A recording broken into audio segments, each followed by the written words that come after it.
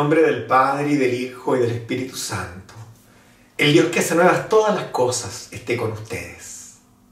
Del Evangelio según San Mateo. Se presentó a Jesús un alto jefe y postrándose ante él le dijo, Señor, mi hija acaba de morir, pero ven a imponerle tus manos y vivirá. Jesús se levantó y lo siguió con sus discípulos. Entonces se le acercó por detrás una mujer que padecía de hemorragias desde hacía doce años, y le tocó los flecos de su manto, pensando, con solo tocar su manto quedaré sana. Jesús se dio vuelta y al verla le dijo, Ten confianza, hija, tu fe te ha salvado. Y desde ese instante la mujer quedó sana. Al llegar a la casa del jefe, Jesús vio a los que tocaban música fúnebre y a la gente que gritaba, y dijo, retírense, la niña no está muerta, sino que duerme. Y se reían de él. Cuando hicieron salir a la gente, él entró, la tomó de la mano y ella se levantó. Y esta noticia se divulgó por aquella región.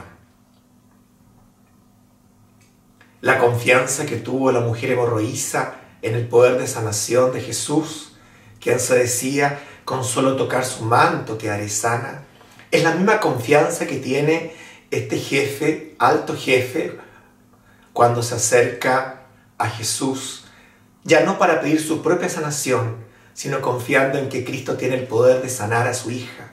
Se lo pide con cuánta confianza y humildad. Mi hija acaba de morir, pero ven, y estoy seguro que vivirá. Ni siquiera se trata de una sanación temporal, se trata de una verdadera resurrección de una prolongación del don de la vida. Pidamos de la mano de este jefe y de esta mujer hemorroísa al comenzar esta nueva semana de julio, poder confiar cada día más en el poder de Dios.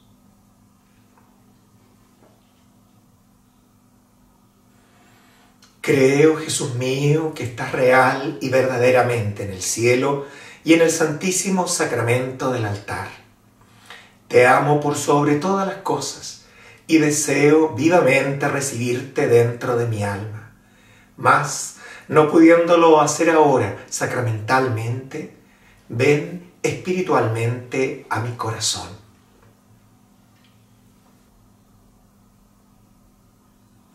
Y como si ya te hubiese recibido, te abrazo y me uno del todo a ti. Señor, no permitas que me separe de ti.